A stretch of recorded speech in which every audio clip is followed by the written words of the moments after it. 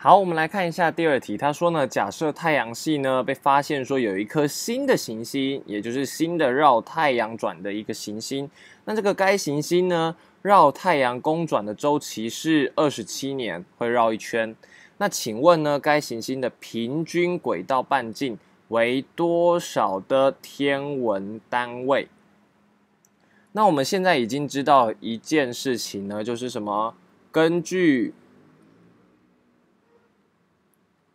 周期定律啊，也就是呢行星的第三运动定律。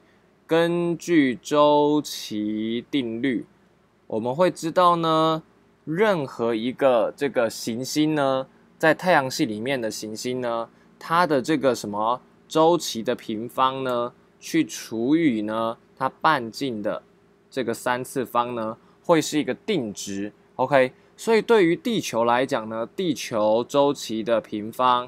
跟地球半径的三次方除起来呢，会等于一个定值，会跟这颗新的行星的周期的平方，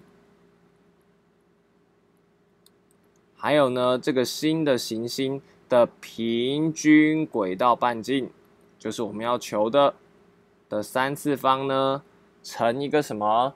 乘一个。正比，OK，它是成定值的。那我们就发现一件很有趣的事情，就是呢，我们知不知道地球的这个绕行的周期呢？我们知道是一年吗？那我们知不知道地球的这个平均轨道半径呢？我们也知道啊，是一 AU 啊。那我们知不知道这个新的行星的周期呢？我们知道是二十七啊。所以呢，我们如果呢把这个呃，新的这个平均轨道半径呢，设作 x 的话，我们可以根本就列出式子，OK，就是呢一的平方除以一的三次方，就会等于二十七的平方去除以呢 x 的三次方，所以我们就会得到什么呢？x 的三次方会等于二十七的平方，对不对？好，那二十七呢，我们是不是就可以化简成什么呢？二十七呢，它其实是三的。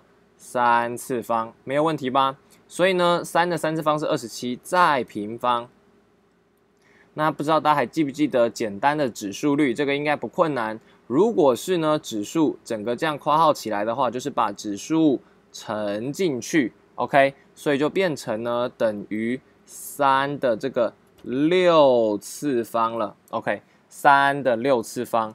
所以，如果有一个东西，如果呢，x 的三次方是等于三的六次方，那 x 不就应该是要等于什么？三的平方吗？OK，这样应该不会很难想象吧？好，从这一步到这一步，这是一个简单的啊开根号的动作，但是我们就不直接开三次根号了，就等于呢三的平方就等于九。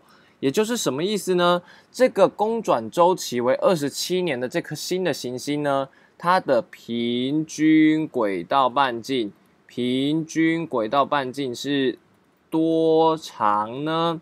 它的平均轨道半径，我们这样算出来就是九 AU，也就是呢九倍的地球到太阳的这个平均距离。OK，好。那这个题目呢，其实呢，就是在利用我们的周期定律在做计算。所以，不管对于哪一颗行星，只要他们在绕的是同一颗恒星，再说一次，只要他们绕同一颗恒星，那么呢，他们的周期平方去除以这个半径的三次方呢，都是定值。这个是非常好用的一个式子哦。